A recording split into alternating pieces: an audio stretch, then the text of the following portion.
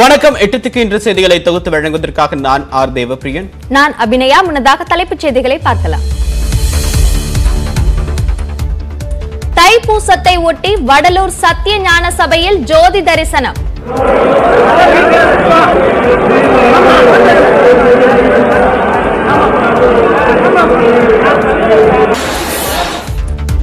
தைப்பூச விழாவை ஒட்டி முருகன் கோயில்களில் சிறப்பு வழிபாடு.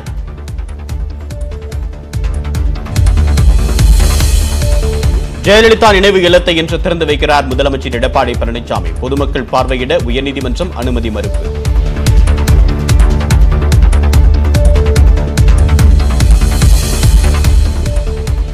டெல்லி மோதல் தொடர்பாக விவசாய சங்க தலைவர் தர்ஷன் பாலுக்கு டெல்லி போலீஸ் நோட்டீஸ்.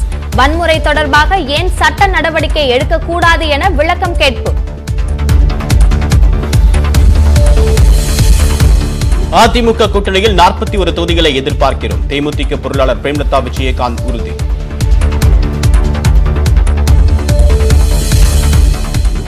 விசாகப்பட்டினம் அருகே சமையல் எண்ணெய் பேக்கிங் நிறுவனத்தில் பயங்கர தீ.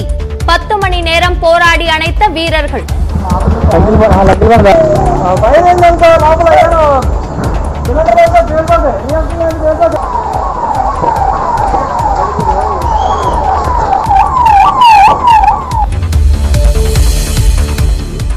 மத்திய பணியிலிருந்து தமிழக பணிக்கு மீண்டும் திரும்பும் மூத்த ஐஏஎஸ் அதிகாரி ராஜீவ் ரஞ்சன். அடுத்த தலைமை செயலாளராக நியமிக்கப்பட வாய்ப்பு.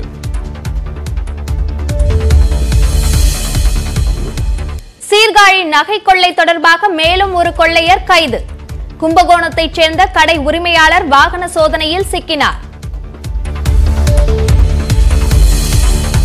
நாடு தழுவிய கொரோனா கட்டுப்பாட்டு நடவடிக்கைகளை பிப்ரவரி இருபத்தி எட்டாம் தேதி வரை நீட்டித்தது மத்திய அரசு. திரையரங்களில் ஐம்பது சதவீதத்திற்கும் அதிகமான பார்வையாளர்களுக்கும் அனுமதி.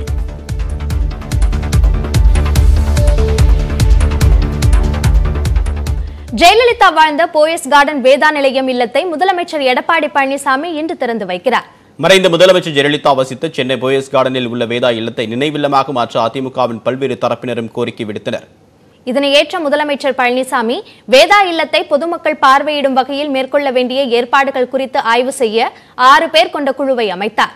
இந்த குழு அளித்த பரிந்துரையின் பேரில் ஜெயலலிதாவின் வீட்டை நினைவு இல்லமாக மாற்றும் பணியை பொதுப்பணித்துறையினர் மேற்கொண்டனர். அத்துடன் வர்ணம் திட்டப்பட்டு ஜெயலலிதா பயன்படுத்திய பொருட்களை காட்சிப்படுத்துவதற்கான பணிகளும் நடைபெற்றன. இந்நிலையில் நினைவு இல்லமாக மாற்றப்பட்டுள்ள வேதா நிலையம் இல்லத்தை முதலமைச்சர் எடப்பாடி பழனிசாமி இன்று திறந்து வைக்கிறார். இந்த நிகழ்ச்சியில் துணை முதலமைச்சர் ஓ பன்னீர்செல்வம் முன்னிலை வகிக்கிறார். மேலும் இதில் அமைச்சர்கள் எம்எல்ஏக்கள் அதிமுக நிர்வாகிகளும் பங்கேற்கின்றனர். மறைந்த முதலமைச்சர் ஜெயலலிதாவின் வேதா நிலையத்தை திறக்க தடையில்லை என்று சென்னை உயர்நீதிமன்றம் கூறியுள்ளது. சென்னை போயஸ் கார்டனில் உள்ள ஜெயலலிதாவின் வேதா நிலையத்தை நிலைவிலமாக மாற்றக்கூடிய பணிகள் முடிந்து இன்று திறக்க உள்ளதாக அரசு அறிவித்திருந்தது. இந்நிலையில் போயஸ் தோட்ட இல்லத்தை கையகப்படுத்திய உத்தரவை எதிர்த்து ஜே தீபக்கும் வேதா நிலையத்திற்கு இழப்பீடு வழங்கிய உத்தரவை எதிர்த்து ஜே தீபாவும் தொடர்ந்த வழக்கு மீண்டும் விசாரணைக்கு வந்தது. அப்போது தீபக் தரப்பு வழக்கறிஞர் ஜெயலலிதாவின் உடைமைகள் மட்டுமின்றி தங்களுடைய பாட்டியின் உடைமைகள் இருப்பதாகவும் ஜெயலலிதா பயன்படுத்திய கார்களின் நிலை பற்றி அரசு அறிவிக்கவில்லை என்றும் வாதிட்டார். அரசு தரப்பில் ஆஜரான விஜய் நாராயணன் ஜெயலலிதாவின் வேதா நிலையத்தில் எந்த மாற்றமும் செய்ய போவதில்லை என்று கூறினார். இருதரப்பு வாதங்கள் நிறைவடைந்த நிலையில் ஜெயலலிதாவின் வேதா நிலையத்தை நினைவு இல்லமாக திறக்க நீதிபதி சேஷசாயி அனுமதித்தார். அதே சமயம் திறப்பு விழா முடிந்த பின்னர் வேதா நிலையத்தின் சாவியை நீதிமன்ற பதிவாளரிடம் ஒப்படைக்க வேண்டும் என்று இடைக்கால உத்தரவு பிறப்பிக்கப்பட்டுள்ளது. ஜெயலலிதாவின் வாரிசுகளாக அறிவிக்கப்பட்டுள்ள தீபா மற்றும் தீபக் முன்னிலையில் பொருட்களை கணக்கெடுக்கவும் அதுவரை பொதுமக்களை நினைவு இல்லத்திற்குள் அனுமதிக்க கூடாது என்றும் உத்தரவு பிறப்பிக்கப்பட்டுள்ளது.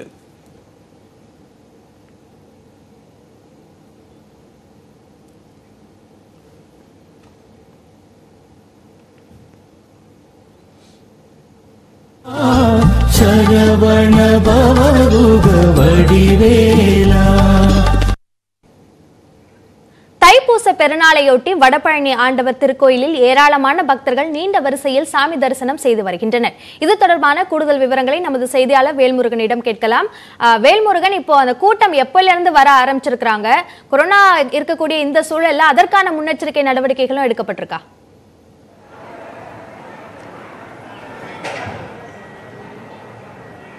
முன்னிட்டு தமிழ்நாடு முழுவதும் இருக்கக்கூடிய முருகர் கோவில்களில் பக்தர்கள் கூட்டம் அதிகளவில் அதிக அளவில் வர தொடங்கியிருக்கிறார்கள். குறிப்பாக வடபழனியில் அமைந்திருக்கக்கூடிய இந்த திருக்கோவிலில் தற்போது காலை ஐந்து மணி முதலே பக்தர்கள் நேரடியாக தரிசனத்துக்கு வந்திருக்கிறார்கள். குறிப்பாக கொரோனா தொற்று இருப்பதன் காரணமாக தேங்காய் உடைப்பதற்கு தற்போது நிர்வாகம் தரப்பிலிருந்து அனுமதி மறுக்கப்பட்டிருக்கிறது. மற்றபடி நீண்ட நெடு வரிசையிலாக பக்தர்கள் குறிப்பாக வடபழனி இந்த பகுதி முழுவதுமே நிறைந்திருக்கிறார்கள். இன்னும் சற்று நேரத்தில் காவடி உள்ளிட்ட பல்வேறு இந்த தைப்பூச திருநாளை முன்னிட்டு செய்யக்கூடிய அந்த பக்தி மையமான அனைத்து விதமான பக்தர்களுடைய அந்த நிறைவேற்றுதலை வேண்டுதல்களை நிறைவேற்ற இருக்கிறார்கள் குறிப்பாக இங்கே இருக்கக்கூடிய அனைத்து நிர்வாக தரப்பிலும் இருந்து முகக்கவசம் கட்டாயம் அணிந்திருக்க வேண்டும். அதே போல தனிநபர் இடைவெளி விட்டு வர வேண்டும் என்ற தொடர்ச்சியாக அறிவுறுத்தல் என்பது வழங்கப்பட்டு வருகிறது. குறிப்பாக இங்கே வரக்கூடிய பக்தர்களிடம் கேட்கலாம். ஐயா வணக்கம். அம்மா அங்கே பேசு. இன்னைக்கு வந்து தைப்பூசம் எப்படி இருக்கு? ரொம்ப கூட்டமா இருக்கு. நல்லா இருக்கு. சாமி தரிசனம் பார்க்க முடியுதா? எந்த அளவுக்கு கூட்டம் இருக்கு? கொரோனா தொற்று இருக்கனால தேங்காய் எல்லாம் உடைக்க கூடாதுன்னு சொல்லிருக்காங்க. எப்படி பாக்குறீங்க அது தெரியல. ஆனா இப்பதான் வந்து சீக்கிரம் முடிஞ்சிச்சு தரிசனம். தைப்பூசம் எப்படி இருக்கு? நல்லா இருக்குங்க தைப்பூசம் திருவிழா நல்ல கூட்டம் நிறைய இருக்குது கூட்டம் அங்கங்கே நல்லா பண்ணியிருக்காங்க. ஒரே இதில் கீழே வர்ற மாதிரி குறிப்பாக பக்தர்களிடம் நீண்ட நாட்களுக்கு பிறகு இது போன்ற இறை வழிபாடுகள் என்பது மிகுந்த ஒரு மகிழ்ச்சியை ஏற்படுத்தும் விதமாக இருக்கிறது. அதுமில்லாமல் இன்று பொது விடுமுறை என்பதால் அதிக அளவிலான கூட்டம் என்பது வடபழனி கோயிலில் காண முடிகிறது. விவரங்களுக்கு நன்றி வேல்முருகன். தைப்பூச திருநாளை ஒட்டி மதுரை திருப்பரங்குன்றம் சுப்பிரமணிய சுவாமி கோவிலில் ஆயிரக்கணக்கான பக்தர்கள் வரிசையில் காத்திருந்து சுவாமி தரிசனம் செய்து வருகின்றனர். இது தொடர்பான கூடுதல் தகவலோடு நம்முடைய செய்தியாளர் சிவகுமார் இணைகிறார். நேரலையில் சிவகுமார் தற்போது என்னென்ன கட்டுப்பாடுகளோடு பொது பக்தர்களுக்கு அனுமதி வழங்கப்பட்டிருக்கு? தற்போது இருக்கக்கூடிய கலநிலை என்ன?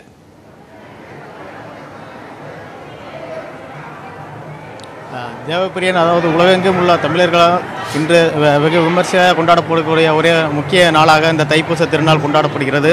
அதாவது இந்த தைப்பூச திருநாளானது தை மாதம் வரக்கூடிய பூச நட்சத்திரம் மற்றும் பௌர்ணமி திதி ஒரு சேர வரக்கூடிய இந்த சிறப்பு வாய்ந்த நாளில் அது அதாவது ம- தமிழக மக்கள் ஒரு முக்கிய நாளாக கருதி இந்த நாட்களில் வந்து த- அறுபடை வீடுகளில் முருகன் கோவில்களில் வந்து ஏராளமான பக்தர்கள் சாமி தரிசனம் செய்வார்கள். இதன் ஒரு பகுதியாக மதுரை மாவட்டம் திருப்பரங்குன்றம் சுப்பிரமணிய சுவாமி திருக்கோவிலானது அறுபடை வீடுகளில் ஒரு முதற்படை வீடாக உள்ளது. இத்திருக்கு இத்திருக்கோவிலில் இன்று தைப்பூச திருநாளையொட்டி இன்று அதிகாலை முதலே வந்து பல்லாயிரக்கணக்கான பக்தர்கள் சாமி தரிசனம் செய்து வருகின்றனர். இந்த திருநாளில் திருக்கோவிலில் உள்ள உற்சவர் சன்னதியில் சுப்பிரமணிய சுவாமிக்கும் தெய்வானைக்கும் சிறப்பு அலங்காரம் செய்யப்பட்டு பூஜைகள் நடைபெற்று வருகிறது. இந்த தைப்பூச திருநாளானது ஆஹ் திருப்பரங்குன்றம் சுப்பிரமணிய சுவாமி கோவிலில் வேலுக்கு வந்து பால் அபிஷேகம் செய்யப்பட்டு பக்தர்களுக்கு வழங்கப்படும். இந்த இன்று அதிகமான கூட்டம் கூடுவதால் கொரோனா கட்டுப்பாடு விதிக்கப்பட்டுள்ள காரணத்தால் பக்தர்கள் முகக்கவசம் அணி அணிந்து கோவிலுக்குள் அனுமதிக்கப்படுகிறார்கள். தமிழக அரசு இன்று விடு பொது விடுமுறை இந்த ஆண்டு தைப்பூசத்தை ஒட்டி அறிவித்துள்ளதால் ஏராளமான பக்தர்கள் தங்கள் குடும்பத்துடன் வந்து திருப்புரன் சுப்பிரமணிய சுவாமி கோவிலில் சாமி தரிசனம் செய்து வருகின்றனர் இது தொடர்பாக இங்கே அதாவது கோவிலுக்கு வருகிற இந்த பக்தரிடம் ஐயா நீங்கள் எங்கேருந்து வரீங்க? நாங்கள் கோயம்புத்தூர் மாவட்டம் பொள்ளாச்சியிலிருந்து வர்றோங்க.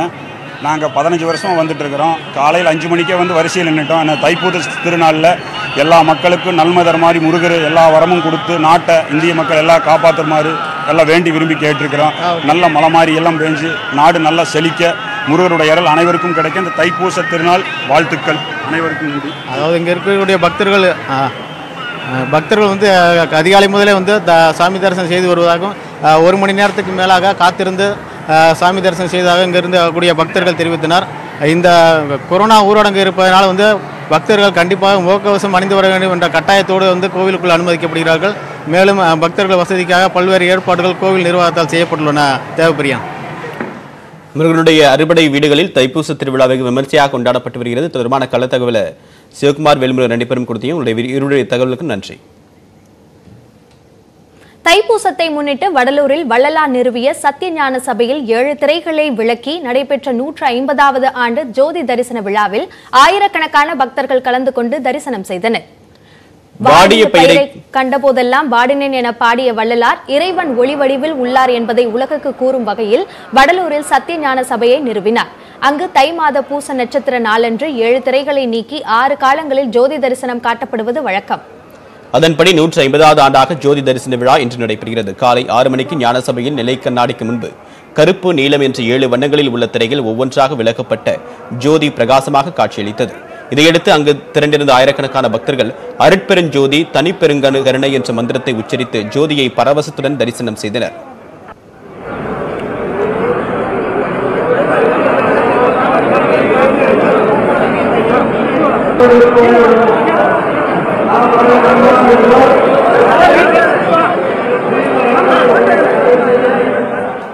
தொடர்ந்து இன்று மேலும் நான்கு முறையும் இறுதியாக நாளை காலை ஐந்து முப்பது மணிக்கு ஒரு முறையும் ஜோதி தரிசனம் நடைபெற உள்ளது கொரோனா கட்டுப்பாடுகள் காரணமாக வழக்கத்தை காட்டிலும் குறைந்த அளவிலேயே மக்கள் கூட்டம் காணப்படுகிறது. ஐநூறுக்கும் மேற்பட்ட போலீசார் பாதுகாப்பு பணிகளில் ஈடுபட்டுள்ள நிலையில் அன்னதானம் வழங்கவும் கடைகள் மற்றும் ராட்டினம் போன்றவற்றை அமைக்கவும் அனுமதி மறுக்கப்பட்டுள்ளது.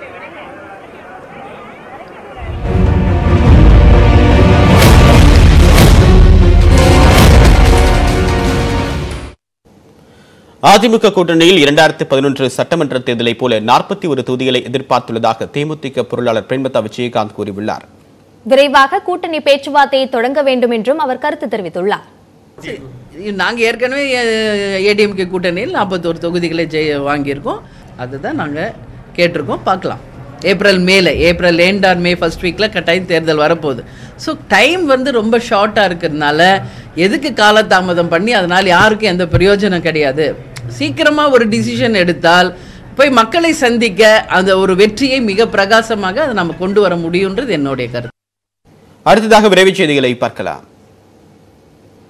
உள்நாட்டிலேயே தயாரிக்கப்பட்டுள்ள கோவாக்சின் தடுப்பு மருந்து இங்கிலாந்தின் உருமாறிய கொரோனாவிற்கு எதிராக திறம்பட செயல்படுவதாக பாரத் பயோடெக் நிறுவனம் தெரிவித்துள்ளது. அந்நிறுவனம் தனது ட்விட்டர் பக்கத்தில் வெளியிட்டுள்ள ஆய்வறிக்கையில் உருமாறிய கொரோனாவால் பாதிக்கப்பட்ட இருபத்தி ஆறு பேரிடமிருந்து பெறப்பட்ட இரத்த மாதிரிகளை கொண்டு பரிசோதனை செய்யப்பட்டதாக குறிப்பிடப்பட்டுள்ளது. ஆய்வின் முடிவில் கோவாக்சின் தடுப்பு மருந்து உருமாறிய கொரோனா வைரஸை நடுநிலைப்படுத்தி சிறப்பாக செயல்படுவதாக பாரத் பயோடெக் நிறுவனம் தெரிவித்துள்ளது. சாதாரண கொரோனாவை காட்டிலும் உருமாறிய கொரோனா ஆபத்தானது என பிரிட்டன் மருத்துவர்கள் எச்சரித்து வரும் நிலையில் இந்த ஆய்வு முடிவுகள் வெளியாகியுள்ளன வேளாண் சட்டத்திற்கு எதிராக பிப்ரவரி ஒன்றாம் தேதி நாடாளுமன்றத்தை நோக்கி நடைபெற இருந்த பேரணியை ஒத்திவைப்பதாக விவசாய சங்கங்கள் அறிவித்துள்ளன. குடியரசு தினத்தன்று டெல்லியில் நடைபெற்ற டிராக்டர் பேரணியில் வன்முறை வெடித்தது. இதற்கு ராகுல் காந்தி மம்தா பானர்ஜி உள்ளிட்ட எதிர்க்கட்சியினர் கண்டனம் தெரிவித்துள்ளனர். இதனிடையே வருகின்ற பிப்ரவரி ஒன்றாம் தேதி நாடாளுமன்றம் நோக்கி பேரணி நடத்த விவசாயிகள் திட்டமிட்டிருந்தனர். இந்த பேரணியை தற்போதைக்கு ஒத்திவைப்பதாக சம்யுக்த கிசான் மோர்ச்சா அமைப்பினர் தெரிவித்துள்ளனர். அதேவேளையில் தியாகிகள் தினமான ஜனவரி முப்பதாம் தேதி ஒருநாள் உண்ணாவிரதத்தில் ஈடுபடுவோம் எனவும் கூறியுள்ளனர். மேலும் டிராக்டர் பேரணியில் தொன்னூற்று ஒன்பது புள்ளி ஒன்பது சதவீத விவசாயிகள் அமைதியாக கலந்து கொண்டதாகவும் குறிப்பிட்டுள்ளனர். கர்நாடகாவில் பெலகாவி மற்றும் அதன் சுற்றுவட்டார பகுதிகளை யூனியன் பிரதேசமாக அறிவிக்க வேண்டும் என மகாராஷ்டிர முதலமைச்சர் உத்தவ் தாக்கரேவின் கருத்துக்கு கர்நாடக அரசு எதிர்ப்பு தெரிவித்துள்ளது. மகாராஷ்டிரா கர்நாடக எல்லைப் பகுதியான பெலகாவி கர்நாடக அரசின் கட்டுப்பாட்டில் உள்ளது. இந்த பகுதியில் வசிக்கும் மக்கள் மராட்டிய மொழி பேசுவதால் இந்த பகுதியில் மகாராஷ்டிராவில் இணைக்க வேண்டும் என பல ஆண்டுகளாக கோரிக்கை எழுப்பப்பட்டு வருகிறது. இதுகுறித்து கருத்து தெரிவித்துள்ள உத்தவ் தாக்கரே இந்த வழக்கில் தீர்ப்பு வரும் வரை சர்ச்சைக்குரிய பகுதிகளை யூனியன் பிரதேசமாக அறிவிக்க வேண்டும் என மத்திய அரசுக்கு வலியுறுத்தியுள்ளனர். இந்த கருத்துக்கு பதிலளித்து கர்நாடக துணை முதலமைச்சர் அஸ்வத் நாராயணன் கர்நாடகாவில் வாழும் அனைவரும் கன்னட மக்கள்தான் எனவும் அது தேவையில்லாத சர்ச்சை என்றும் விளக்கமளித்தார். திருவண்ணாமலை மாவட்டத்தில் விவசாயி ஒருவர் தனது மகளுக்கு சீதனமாக வழங்குவதற்கு வீட்டில் வைத்திருந்த முப்பத்தைந்து சவரன் தங்க நகைகள் திருமண நாளில் கொள்ளையடிக்கப்பட்டன. ஆரணி அருகே வேலப்பாடி கிராமத்தைச் சேர்ந்த தரணி பாலனின் மகள் சௌமியாவுக்கு சென்னை மடிப்பாக்கத்தில் நேற்று திருமணம் நடைபெற்றது. திருமணத்திற்கு கவரிங் நகைகள் அணிந்து கொண்டு தங்க நகைகளை வீட்டிலேயே வைத்துவிட்டு சென்றுள்ளனர். திருமணம் முடிந்து வீடு திரும்பிய போது வீட்டின் முன்பக்க கதவின் பூட்டு உடைக்கப்பட்டிருப்பதைக் கண்டு குடும்பத்தினர் அதிர்ச்சி அடைந்தனர் உள்ளே சென்று பார்த்தபோது பீரோவில் இருந்த முப்பத்தைந்து சவரன் தங்க நகைகள் திருடு போனது தெரியவந்தது. இதுகுறித்து போலீசார் வழக்கு பதிவு செய்து கொள்ளையர்களை தேடி வருகின்றனர். ஆந்திர மாநில கடற்பகுதியில் மீன் பிடித்ததாக தமிழக மீனவர்கள் நூற்று எண்பது பேரை அந்த மாநில மீனவர்கள் சிறைப்பிடித்த சம்பவம் அதிர்ச்சியை ஏற்படுத்தியுள்ளது. ஆந்திர மாநிலம் நெல்லூர் மாவட்டத்தில் உள்ள இசக்கப்பள்ளம் கடற்பகுதியில் தமிழக மீனவர்கள் நூற்று எண்பது பேர் பதினைந்து படகுகளில் மீன்பிடித்துக் கொண்டிருந்ததாக கூறப்படுகிறது. அப்போது அங்கு வந்த ஆந்திர மீனவர்கள் தமிழக மீனவர்களை படகுகளுடன் சிறைப்பிடித்துள்ளனர். மீனவர்களை கரைக்கு அழைத்து வந்து போலீசாரிடம் ஒப்படைத்துள்ளனர். இதையடுத்து தமிழக மீனவர்களிடம் அந்த மாநில போலீசார் விசாரணை மேற்கொண்டு வருகின்றனர்.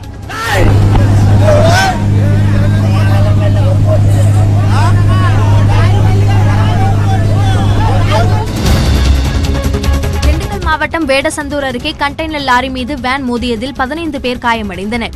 நாயக்கன்பட்டி அருகே உள்ள நூற்பாலையில் பணியாற்றும் தொழிலாளர்கள் பணி முடிந்து வேனில் வீடு திரும்பினர்.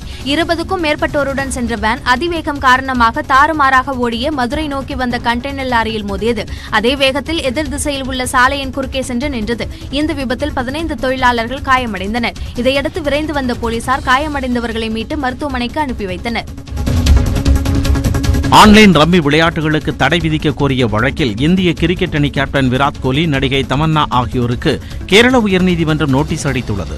தமிழகத்தைப் போலவே கேரளாவிலும் ஆன்லைன் ரம்மி விளையாட்டில் ஏராளமானோர் பணம் இழந்து வருகின்றனர். இருபத்தி ஏழு வயதான வினித் என்ற இளைஞர் பணத்தை இழந்து அண்மையில் தற்கொலை செய்து கொண்டார். இதனை சுட்டிக்காட்டி கேரள உயர்நீதிமன்றத்தில் மனு தாக்கல் செய்யப்பட்டது. இந்த வழக்கு விவகாரத்தில் ஆன்லைன் ரம்மி விளையாட்டு செயலியின் விளம்பர தூதர்கள் விளக்கமளிக்க வேண்டும் என்றும் இந்த விவகாரத்தில் மாநில அரசின் நிலைப்பாட்டை பதிலாக அளிக்க வேண்டும் என்றும் நீதிமன்றம் உத்தரவிட்டுள்ளது. இந்தோனேஷியாவின் மெராபி எரிமலை மீண்டும் நெருப்பை கக்கி வருகிறது. உயிர்ப்புடன் இருந்து வரும் இந்த எரிமலை நான்காயிரத்து தொள்ளாயிரம் அடி அளவுக்கு சாம்பலையும் நச்சு வாயுக்களையும் வெளியேற்றி வருகிறது. இந்த எரிமலை கடந்த நவம்பர் மாதமும் சீற்றமடைந்ததால் மலையை சுற்றி வசித்து வந்த இரண்டாயிரம் பேர் பாதுகாப்பான இடங்களுக்கு அப்புறப்படுத்தப்பட்டனர். பின்னர் சீற்றம் தணிந்ததும் அவர்கள் பழைய இடத்திற்கே திரும்பினர். இந்நிலையில் மலையை சுற்றி ஐந்து கிலோமீட்டர் தூரத்தில் உள்ள மக்கள் வெளியேறும்படி அதிகாரிகள் உத்தரவிட்டுள்ளனர். யோக் யகர்த்தா நகரில் உள்ள ஒன்பதாயிரத்து எழுநூற்று முப்பத்தி ஏழு அடி உயர மெராபி எரிமலை இரண்டாயிரத்து பத்தாம் ஆண்டு சேரிய போது முன்னூற்று நாற்பத்தி ஏழு பேர் கொல்லப்பட்டனர். நாட்டில் வருகின்ற மார்ச் எட்டாம் தேதி வரை கொரோனா ஊரடங்கு தொடரும் என்று அந்நாட்டு பிரதமர் போரிஸ் ஜான்சன் அறிவித்துள்ளார். உருமாறிய கொரோனா பரவலால் பிரிட்டனில் வைரஸ் தொற்றால் பாதிக்கப்படுவோர் எண்ணிக்கை அதிகரித்து வருகிறது. இதை கட்டுப்படுத்த ஊரடங்கு பிறப்பிக்கப்பட்ட நிலையில் செய்தியாளர்களை சந்தித்த பிரதமர் போரிஸ் ஜான்சன் மார்ச் எட்டாம் தேதி வரை ஊரடங்கு நீட்டிக்கப்படும் என்றார். அதுவரை கல்வி நிலையங்கள் மற்றும் வணிக நிறுவனங்கள் மூடப்பட்டிருக்கும் எனவும் குறிப்பிட்டார். இதனிடையே உருமாறிய கொரோனா பரவிய நாடுகளிலிருந்து வருபவர்கள் கட்டாயமாக பத்து நாட்கள் அரசு அறிவிக்கும் விடுதிகளில் தனிமைப்படுத்திக் கொள்ள வேண்டும் எனவும் போரிஸ் ஜான்சன் உத்தரவிட்டுள்ளார். விஜய் நடிப்பில் வெளியான மாஸ்டர் படத்தில் இடம்பெற்ற வாத்தி கமிங் வீடியோ பாடல் யூடியூபில் வெளியிடப்பட்டதை ஏராளமானோர் ஆர்வத்துடன் கண்டுகளித்து வருகின்றனர். விஜயின் துள்ளலான நடன அசைவுகளுடன் இடம்பெற்றுள்ள இந்த பாடல் யூடியூபில் இதுவரை உலக புகழ்பெற்ற கான்ஸ் திரைப்பட விழா ஜூலை மாதத்திற்கு ஒத்திவைக்கப்படுவதாக அறிவிக்கப்பட்டுள்ளது. கொரோனா பரவல் காரணமாக கடந்த ஆண்டு இந்த திரைப்பட விழா முற்றிலுமாக ரத்து செய்யப்பட்டது. இந்நிலையில் இந்த ஆண்டு மே மாதத்தில் நடத்துவதற்கு திட்டமிடப்பட்டிருந்தது. ஆனால் கொரோனா தொற்று பரவல் கட்டுக்குள் வராததால் ஜூலை ஆறாம் தேதி முதல் பதினேழாம் தேதி வரை கான்ஸ் திரைப்பட விழா நடைபெறும் என்று விழா ஏற்பாட்டாளர்கள் தெரிவித்துள்ளனர். இதனை ஆன்லைனில் இல்லாமல் நேரடியாக நடத்தவும் முடிவு செய்திருக்கிறார்கள்.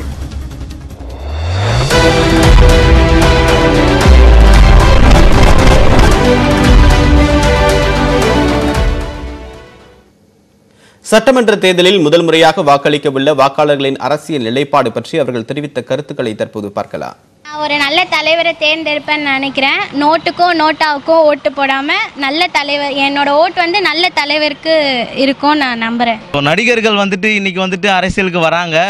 நான் எப்படி பார்க்குறேன்னு சொல்லிட்டு சொன்னீங்கன்னா ஒரு பிரச்சனைக்கு எதுவுமே இப்போ வந்து பார்த்தீங்கன்னா நிறைய விதமான பிரச்சனைகள் நம்ம தமிழகத்தில் இருக்கிறது. நிறைய போராட்டங்கள் பண்ணுறாங்க நிறைய நம்முடைய உரிமைகள் நிறைய இருக்கிறது. ஸோ அதுக்கெல்லாம் அவங்க குரல் கொடுக்க மாட்றாங்க. இப்போ எலெக்ஷன் டைமில் வந்து நான் த தலைவராக வந்துடுறேன். தலைவருக்கு வரேன். போட்டி போடுறேன். எனக்கு நான் நான் ஆளுமை திறன் எனக்கு இருக்குன்னு சொல்லிட்டு பண்ணுறாங்க கண்டிப்பாக வரலாம். ஏன் வரக்கூடாது? வரக்கூடாதுன்னு ஒன்றுமே இல்லை. இவங்களும் சின்ன வயசுலேருந்து ஒன்றுமே தெரியாமல் தான் அரசியலுக்கு வந்தவங்க. இவங்க நடிச்சிட்டு இருக்காங்க அடுத்த அரசியல் வராங்க. நல்லது பண்ணால் யார் வேணால் வரலாம். அதை பற்றி ஒரு பிரச்சனையும் இல்லை.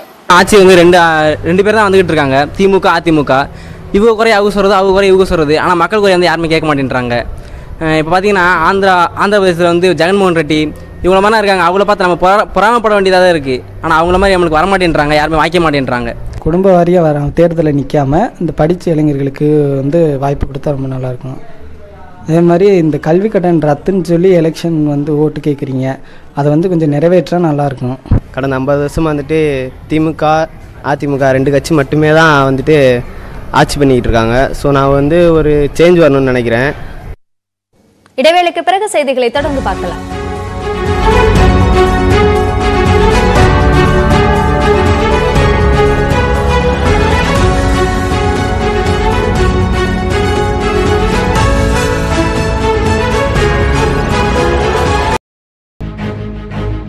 சொற்போரில் இறங்கி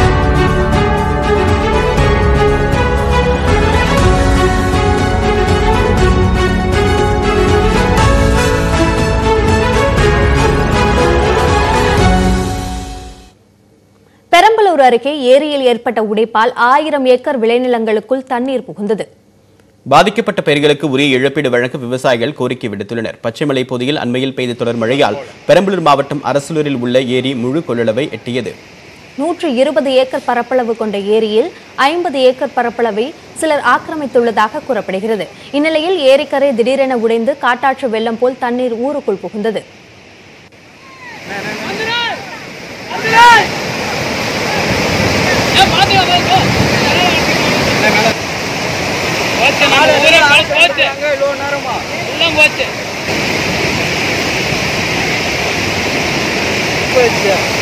ஊருக்குள்ள தண்ணி போனா என்ன பண்றது உள்ளால போகல.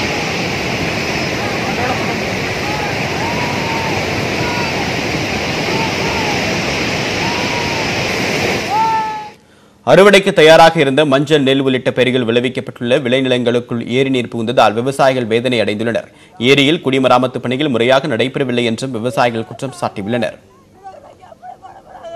இதனிடையே அண்மையில் பெய்த மழை காரணமாக விழுப்புரம் மாவட்டம் திண்டிவனத்தில் உள்ள கிடங்கள் ஏரி முழு கொள்ளளவை எட்டியது. இந்நிலையில் புதன்கிழமை மாலையில் திடீரென ஏரியின் மதகு உடைந்ததால் தண்ணீர் வயல்வெளிக்குள் புகுந்தது. இதனால் இருபதுக்கும் மேற்பட்ட ஏக்கர் பரப்பளவில் பயிரிடப்பட்டுள்ள நெற்பயிர்கள் தண்ணீரில் மூழ்கின.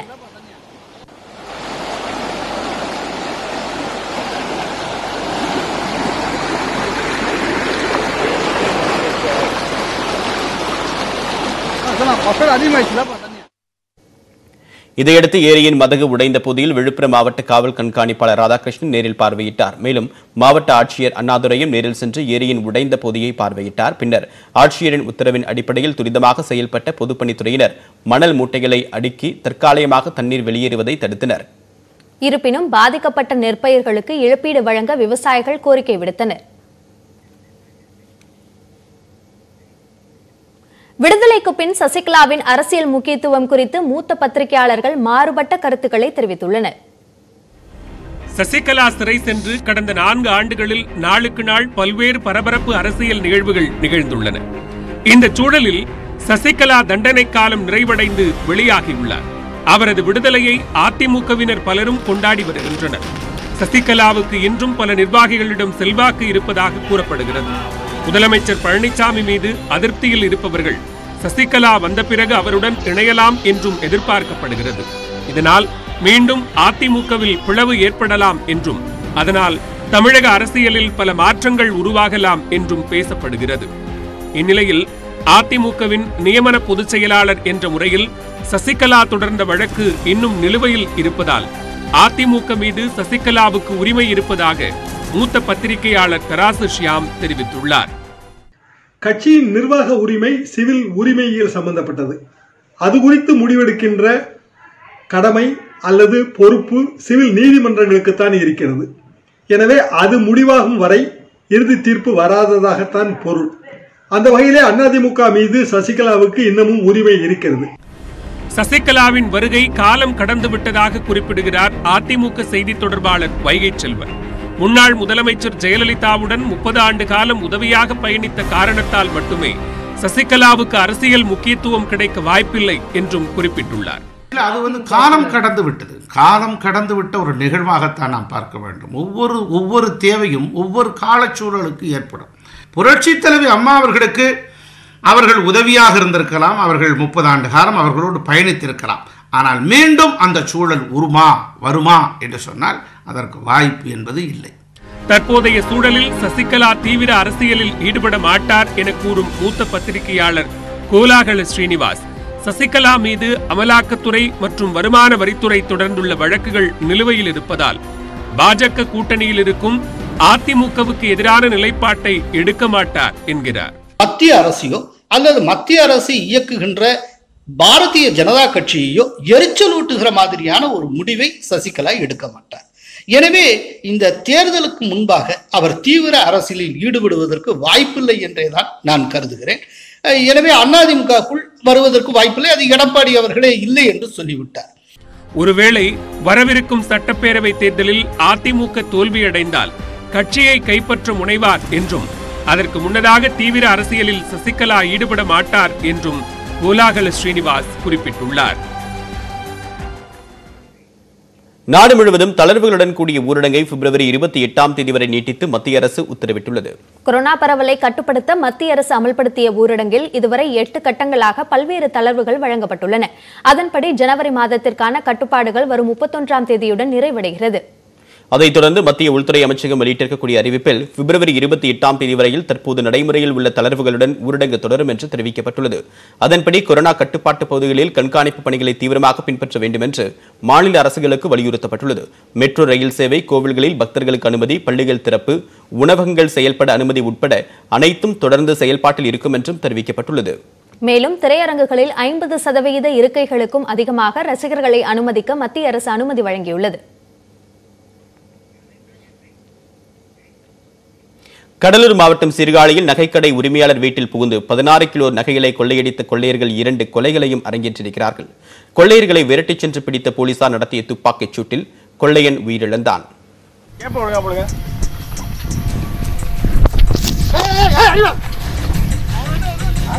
ராஜஸ்தான் மாநிலத்தைச் சேர்ந்தவர் ஐம்பத்தி ஐந்து வயதான தன்ராஜ். சீர்காழி தர்மகுளம் பகுதியில் நாற்பது ஆண்டுகளாக நகை அடகு கடை மற்றும் தங்க நகைகள் மொத்த வியாபார கடையும் நடத்தி வருகின்றார். இவருக்கு நாற்பத்தி ஐந்து வயதில் ஆஷா என்ற மனைவியும் இருபத்தி எட்டு வயதில் அகில் என்ற மகனும் இருந்தனர். அகிலுக்கு திருமணமாகி நெக்கல் என்ற மனைவி உள்ளார். அனைவரும் ஒரே வீட்டில் கூட்டு குடும்பமாக வசித்தனர். புதன்கிழமை காலை ஆறு மணி அளவில் தன்ராஜ் வீட்டிற்கு வந்த மூன்று பேர் கொண்ட கும்பல் வீட்டின் கதவை தட்டி உள்ளது கதவை திறந்த தன்ராஜ் வந்தவர்களிடம் யார் என்று கேட்டுள்ளார். வந்தவர்கள் ராஜஸ்தானியில் பேசியதால் கதவை திறந்து வெளியே வந்துள்ளார் தன்ராஜ். அப்போது கண்ணிமைக்கும் நேரத்தில் தன்ராஜின் நெற்றியில் துப்பாக்கியை வைத்து மிரட்டியுள்ளார் ஒருவர். மற்ற இருவரும் வீட்டிற்குள் நுழைந்து நகை பெட்டிகள் இருக்கும் இடத்தை தேடி கொள்ளையடிக்க முயன்றுள்ளனர். கொள்ளையர்களை பார்த்து வீட்டில் இருந்த தன்ராஜின் மனைவி ஆஷா மகன் அகில் ஆகியோர் பலமாக கத்தத் தொடங்கியுள்ளனர். ஆத்திரமடைந்த கொள்ளை கும்பல் திடீரென ஆஷாவையும் அகிலையும் சரமாரியாக கத்தியாலும் அரிவாளாலும் வெட்டிச் சாய்த்துள்ளது. தன்ராஜையும் மருமகள் நெக்கலையும் கத்தியால் தாக்கிவிட்டு தன்ராஜின் கியா வகை புதிய சொகுசு காரையும் எடுத்துக்கொண்டு தப்பிச் சென்றது.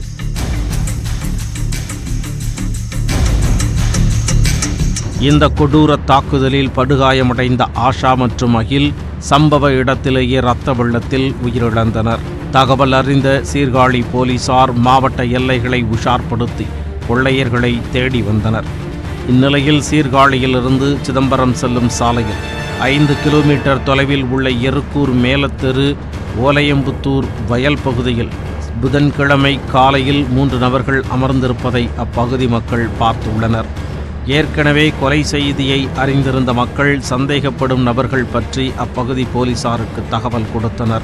இதைத் தொடர்ந்து சம்பவ இடத்திற்கு வந்த போலீசார் வயல்வெளியில் பதுங்கியிருப்பது கொலை கொள்ளை குற்றவாளிகள்தான் என்று உறுதி செய்தனர். மாவட்ட காவல் கண்காணிப்பாளர் ஸ்ரீநாதா தலைமையில் வயல்வெளியை சுற்றி வளைத்த போலீசார் கொள்ளையர்களை சரணடையும்படி அறிவித்தனர். சரணடைய மறுத்த கொள்ளையர்கள் கத்தி துப்பாக்கியை காட்டி காவலர்கள் மற்றும் பொதுமக்களை மிரட்டினர்.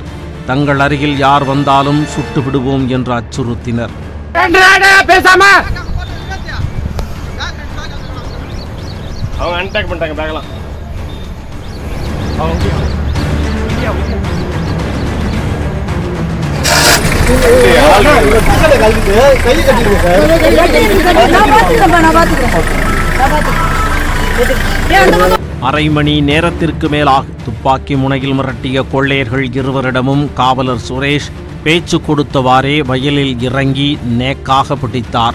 மற்றொருவரை போலீசார் நகைகளை மறைத்து வைத்திருக்கும் இடத்தை காட்டச் சொன்னபோது போலீசார் மீது கொள்ளையன் துப்பாக்கியால் சுட்டதில் காவலர் ஒருவர் தோள்பட்டையில் காயமடைந்தார். இதைத் தொடர்ந்து போலீசார் பாதுகாப்பிற்காக சுட்டதில் கொள்ளையர் மணிப்பால் சம்பவ இடத்திலேயே உயிரிழந்தார். மற்ற இரு கொள்ளையர்களையும் பிடித்த போலீசார் காவல் நிலையம் அழைத்துச் சென்று விசாரித்து வருகின்றனர். அவர்களிடம் இருந்து பதினாறு கிலோ நகைகளையும் காரையும் போலீசார் பறிமுதல் செய்துள்ளனர். வயல் சைடு போனவங்க வந்து இந்திக்கார பசங்க நிறைய பேர் வந்து உட்காந்துருக்காங்கன்னு சொன்னாங்க மூணுக்கு மேற்பட்ட ஆள். எங்கள் ஆளுங்க போய் பார்த்து விசாரிச்சாங்க ஊர் மக்கள் சேர்ந்து பிடிச்சோம். பிடிச்சதுக்கப்புறம் டிஃப்ரெண்ட் டிஃப்ரெண்ட்டாக பேசுனாங்க. கொள்ளிடம் காவல் நிலையத்துக்கு தகவல் கொடுத்தோம். சாருங்க வந்து பிடிச்சி ஒரு ஆளை நாங்கள் ஊர்க்காரங்களாம் பிடிச்சி ரெண்டு பேரை வந்து சாருங்க வந்து பிடிச்சி கையோட கொண்டு போயிட்டாங்க பையில் டிஃப்ரெண்ட்டான பொருளாக இருந்தது சார். அதெல்லாம் ஆச்சரியப்பட்டாங்க ஊரே வந்து ரொம்ப பதட்டம் ஆயிடுச்சு சார் பையில? பையில் கன்னுலாம் வச்சுருந்தாங்க சார். அவ்வளோதான் சார் வச்சுருந்தாங்க நான் இப்போ எங்களுக்கு தெரியாது ஆனால் பிடிக்க போகிறப்ப போனதுக்கு அப்புறம் தான் தெரியும் கன்று இருந்தேன் நாங்கள் எல்லாம் அப்படியே இதாகிட்டோம் சார்.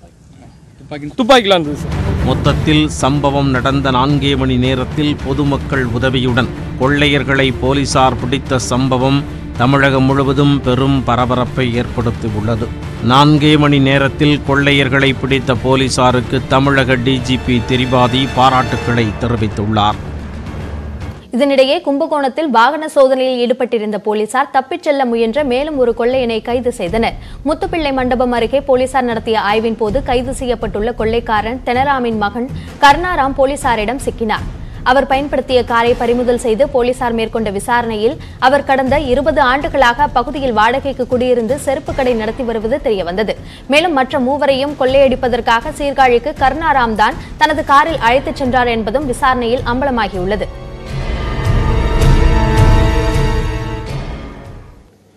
பாஜக சித்தாந்தத்தை எதிர்ப்பதற்கு திமுகவில் சிறந்த களம் என்பதால் அந்த கட்சியில் இணைந்திருப்பதாக நாம் தமிழர் கட்சியின் முன்னாள் நிர்வாகி ராஜீவ்காந்தி தெரிவித்துள்ளார். சென்னையில் மு க ஸ்டாலின் முன்னிலையில் திமுகவில் தன்னை இணைத்துக் கொண்ட பின் ராஜீவ்காந்தியுடன் எமது செய்தியாளர் சடையாண்டி மேற்கொண்ட உரையாடலில் இதனை அவர் தெரிவித்திருக்கிறார். பாசறையில் ஒரு முக்கியமான பொறுப்பில் இருந்தீங்க. தமிழகத்தின் ஒருங்கிணைப்பாளராக இருந்திருக்கிறீங்க. தற்பொழுது திமுகவில் வந்து சேர்ந்திருக்கிறீங்க. இதற்கான காரணம் என்ன? ஏற்கனவே ஒரு கடந்த செப்டம்பர் மாதம் நாமதூர் கட்சியிலிருந்து அதிகாரப்பூர்வம் வெளியே வந்தேன்.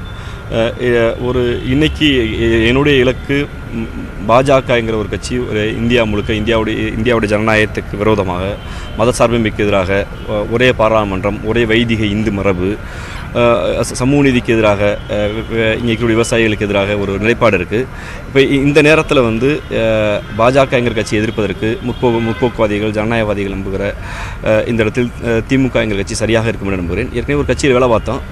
அந்த அனுபவமும் படிப்பினையும் இருக்குது அப்போ ஒரு ஒரு ஒரு ஒரு ப- பாஜகங்கிற ஆர்எஸ்எஸ் எதிர்ப்பதற்கு இந்த அமைப்பு அமைப்பிலிருந்து வேலை செய்யலாங்க எண்ணம் தான் இங்கே வந்திருக்கேன் மீண்டும் ஒரு முறை சீமான் அழைத்தால் என்ன நிலைமை? கேள்விக்குரியன் அண்ணன் சீமான் அழைத்தால் அன்பு தம்பியாக எப்போதும் நான் போய் சந்திப்பேன். கருத்து ரீதியாக நான் வேறு வேறொரு அமை- வேறொரு அமைப்போடு சித்தாந்த ரீதியாக என்னுடைய அறிவு நாணயத்துக்கு உட்பட்டு இங்கே இருக்கக்கூடிய தமிழ் தமிழர் நலம் திராவிட இ- மரபணு வேலை செய்து கொண்டேன் அண்ணன் சீமானோட எந்த தனிமனித வன்மும் எனக்கு இல்லை. அதில் இருக்க அண்ணனை பார்த்தா பேச போகிறோம் அவ்வளோதான் நிர்வாக ரீதியாக அண்ணனோடு சேர்ந்து செயல்பட முடியாத இடர்பாடு எனக்கு இருக்குது அது அது ஒரு பேரின்ப கணாக்காலம் கடந்த காலம். அதுக்குள்ளே நான் போகவும் விரும்பலை.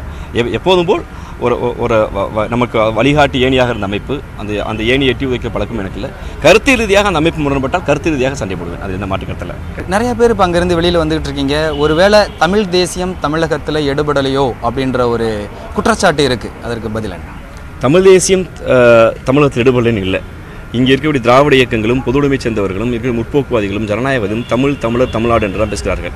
அதை அதை இன்னைக்கு வந்து உண்மையிலேயே தேரட்டிக்கலாக தமிழ் தேசியம் பேசுகிற ஓட்டரசியலுக்கு வராத பல இயக்கங்களும் பேசுகிறாங்க. ஆனால் வந்து வாக்கரசியலுக்கு வருகிற போது யார் தமிழர் என்கிற கேள்விகள்லாம் வருகிற போது இங்கு நீண்ட நீண்ட ஆண்டு காலமாக இருக்கக்கூடிய மாற்று மொழி மாற்றுமொழி தாய்மொழியாக கொண்டவர்களெல்லாம் பிரித்தாளுகிற தனிமனித வன்மங்கள் அதிகமாக பேசப்படுது. அது சாதிய கூறுகளாக மாறுது. அப்போ இந்த சிக்கல் வரும்போது தமிழேசிய சில அமைப்புகள் செய்வதால் தமிழேசியங்கிற இலக்கு தோற்றவிட நான் மீண்டும் சொல்கிறேன் திராவிட இயக்கங்கள் பேசுவதும் பொதுடைமை பொதுவுடைமை இயக்கங்கள் இங்கே பேசியதும் தமிழ் தமிழர் தமிழ்நாடுங்கிற இலக்கு தான் என்னை பொறுத்தவரை தமிழேசியம்ங்கிற ஒரு ஒரு ஒரு மிகப்பெரிய கனவு.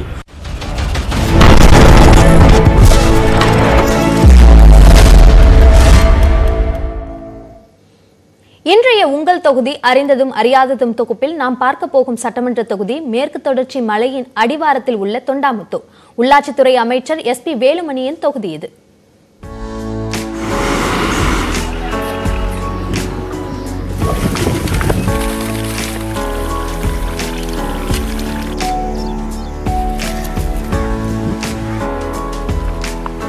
கோயம்புத்தூரின் புறநகர் தொகுதி தொண்டாமுத்தூர். இங்கே சிறுவாணி சாலையில் உள்ள பேரூர் பட்டீஸ்வரர் கோயில் கரிகால் சோழனால் ஆயிரத்தி எண்ணூறு ஆண்டுகளுக்கு முன்பாக கட்டப்பட்டது. சுந்தரரால் தேவாரத்தில் பாடப்பெற்ற இந்த கோயிலில் பங்குனி உத்திரம் வெகு விமர்சையாக நடைபெறும். முக்கிய சுற்றுலா தலமான கோவை குற்றால அருவி இந்த தொகுதியில்தான் இருக்கிறது. செம்மேடு அருகே ஆயிரத்து தொள்ளாயிரத்து தொன்னூற்றி இரண்டாம் ஆண்டில் தொடங்கப்பட்ட ஈஷா யோகா மையத்திற்கு பிற மாநிலங்களில் இருந்து மட்டுமின்றி பல நாடுகளிலும் இருந்தும் ஏராளமானோர் வந்து செல்கின்றனர். மகா சிவராத்திரியில் பல்லாயிரம் பேரோடு நிகழ்ச்சி நடைபெறும். பாரதியார் பல்கலைக்கழகம் அண்ணா பல்கலைக்கழக கோவை வளாகம் காருண்யா பல்கலைக்கழகம் சட்டக்கல்லூரி அரசு கலைக்கல்லூரி என இங்கே கல்வி நிலையங்கள் ஏராளம். நொய்யல் ஆறு இங்கிருந்து தொடங்கி இருகூர் திருப்பூர் ஒரத்துப்பாளையம் வழியாக கரூர் அருகே நொய்யலில் காவிரியுடன் கலக்கிறது. சின்னாறு பெரியாறு சித்திரச்சாவடி தடுப்பணை நொய்யல் ஆறு உள்ளிட்டவற்றால் குறைவின்றி நீர்வளம் கொண்ட இந்த தொகுதியில் மூன்றாயிரம் ஏக்கர் அளவில் சின்ன வெங்காயம் தக்காளி வாழை உள்ளிட்டவை பயிரிடப்படுகின்றன.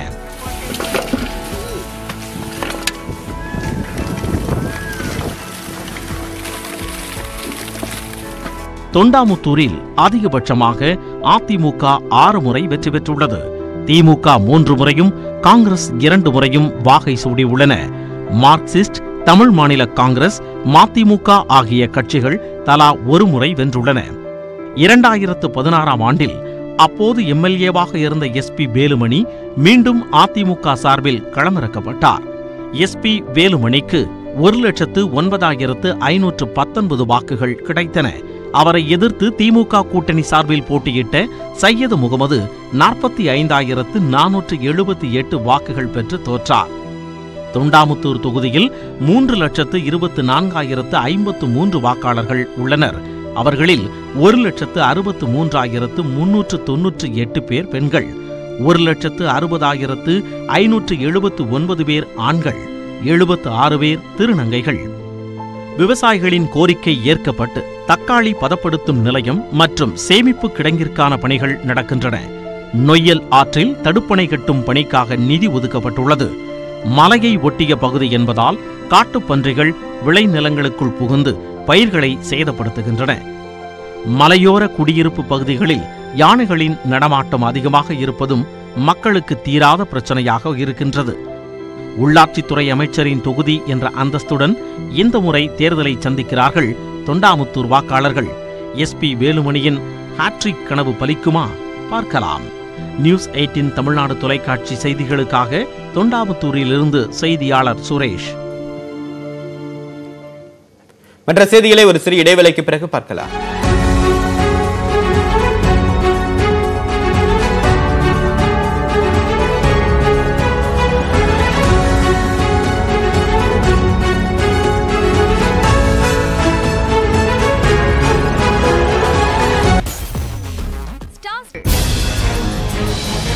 பேச்சு பேட்டி அறிக்கை.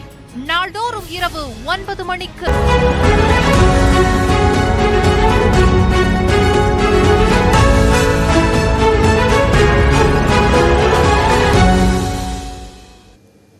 ஆந்திர மாநிலம் விசாகப்பட்டினம் அருகே சமையல் எண்ணெய் நிறுவனத்தில் நேற்றிரவு தீ விபத்து ஏற்பட்ட நிலையில் சுமார் பத்து மணி நேரம் போராடி தீ அணைக்கப்பட்டது. விசாகப்பட்டினம் அருகில் காஜுவாக்கா பகுதியில் உள்ள தொழிற்பேட்டையில் பாரமவுண்ட் சமையல் எண்ணெய் பேக்கிங் நிறுவனம் செயல்பட்டு வருகிறது. பூஜைக்கு பயன்படுத்தக்கூடிய எண்ணெயும் இங்கு பேக்கிங் செய்யப்படுகிறது. இந்நிலையில் அங்கு நேற்று இரவு மின்கசிவு ஏற்பட்டு தீப்பிடித்தது இதில் இருப்பு வைத்திருந்த எண்ணெயில் தீ பற்றியது. தொடர்ந்து தீ பரவியதில் எண்ணெய் பாரத்துடன் நிறுத்தி வைக்கப்பட்டிருந்த லாரிகளும் தீக்கிரையாகின இதனையடுத்து பத்து தீயணைப்பு வாகனங்களின் உதவியுடன் தீயணைக்கக்கூடிய பணி நடைபெற்றது. எண்ணெய் மளமளவென்று தீப்பிடித்து எரிந்ததால் வீரர்கள் பத்து மணி நேரம் போராடி தீயை கட்டுக்குள் கொண்டு வந்தனர். பத்து கோடி ரூபாய் மதிப்புள்ள பொருட்கள் தீயில் எரிந்து சேதமடைந்துள்ளன.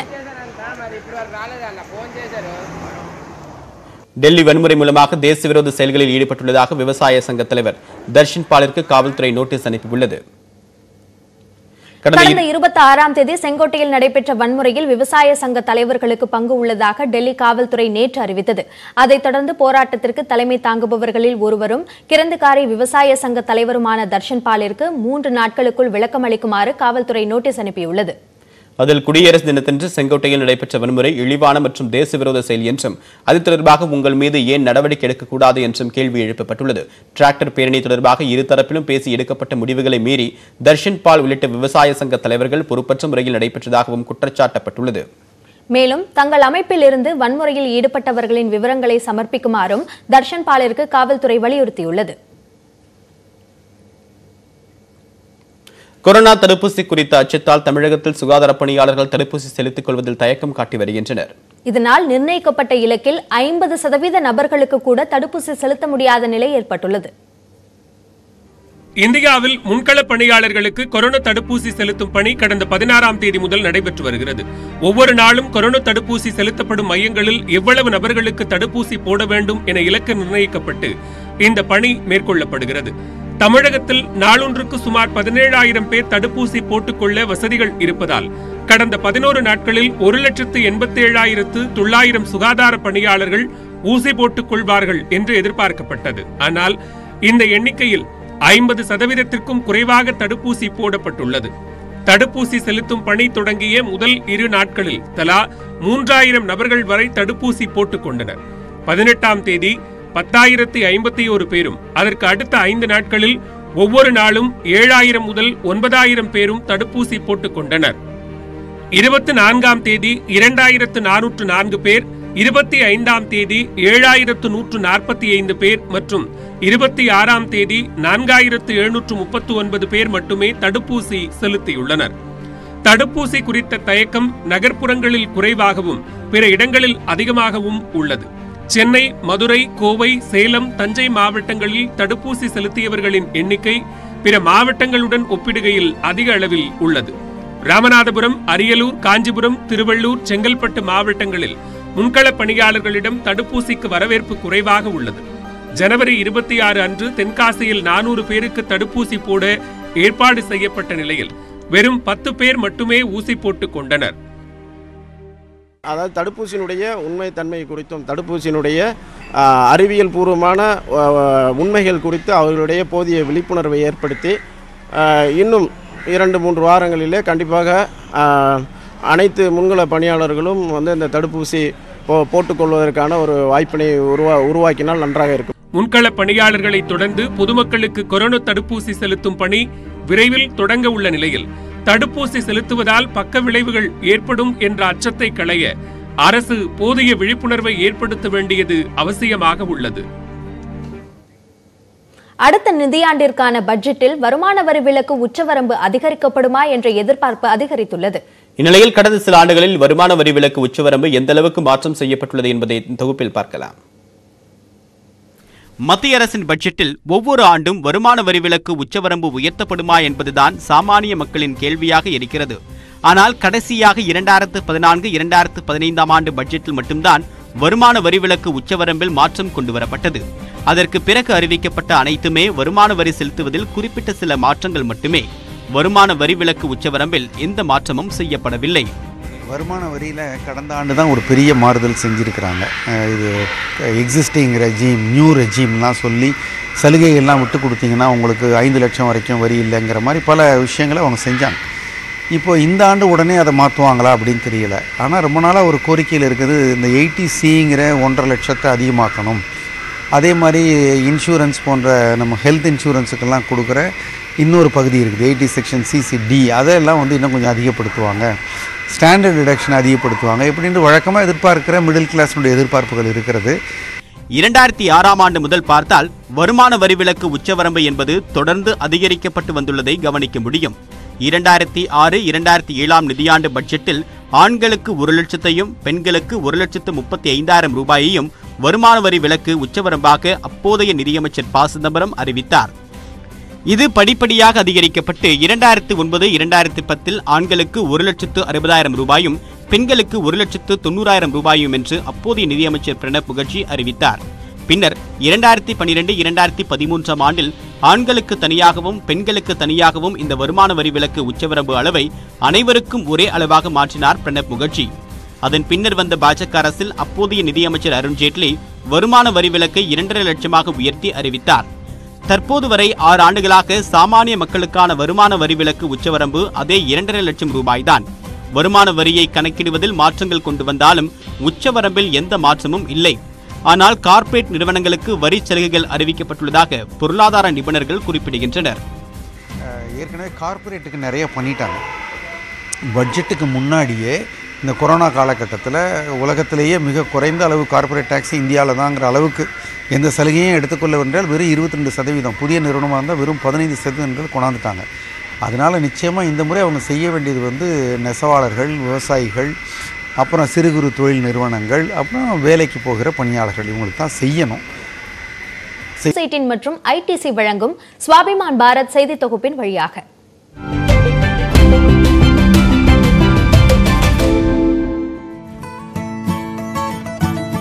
உலகம் முழுவதும் பிரபலமடைந்த காஷ்மீர் ஆப்பிள் விவசாயம் கொரோனா காலத்தில் கடும் பாதிப்புகளை சந்தித்துள்ளது இதற்கான மாற்று வழியை ஷோபியான் பகுதியைச் சேர்ந்த எம்பிஏ பட்டதாரி அத்னன் அலிகான் கண்டறிந்துள்ளார் ஆன்லைன் வாயிலாக ஆப்பிளை சந்தைப்படுத்தும் புதிய முயற்சியை துவங்கி வெற்றி கண்டுள்ளார் मेरा विजन और मिशन यही है कि हर फार्मर के पास एक ऐप हो और जो भी उसका माल हो जैसे भी हो वो उसको पैक करे ब्रांड करे मोबाइल से इसको सेंड करे मैसेज करे उसका शिपिंग कंपनी घर आनी चाहिए पिक करनी चाहिए उसके अकाउंट में पैसा आना चाहिए ये मेरा विजन है ஆன்லைன் வாயிலாக இந்தியா மட்டுமல்லாது பல வெளிநாடுகளுக்கும் இதுவரை பத்தாயிரத்திற்கும் மேலான ஏற்றுமதிகளை செய்துள்ளார் அத்னன் அலி இவருடைய மாற்று முயற்சியை காஷ்மீர் துணைநிலை ஆளுநர் சான்றிதழ் அளித்து பாராட்டியுள்ளார் மேலும் காஷ்மீர் தயாரிப்புகளை மதிப்பு கூட்டுவது குறித்து தனது பிஎச்டி படிப்பின் வழியாகவும் ஆய்வு செய்து வருகிறார் அத்னன் அலிகான் अप्रोक्सीमेटली हमारा जो ओवरऑल जो मेरा अपना प्रोडक्शन है तीन हजार पाँच हजार पेटी तकरीबन हमारा है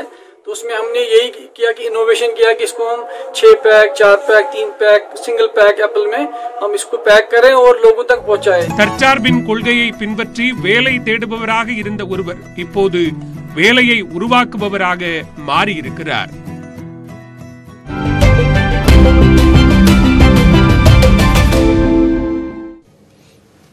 செய்திகளை உடனுக்குடன் தெரிந்து கொள்ள இணைந்திருங்கள். இது நியூஸ் எயிட்டின் தமிழ்நாடு.